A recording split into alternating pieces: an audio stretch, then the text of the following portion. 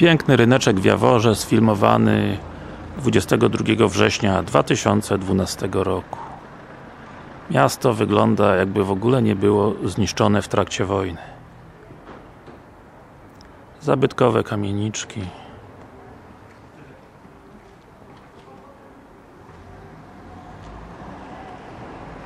Oczywiście skok.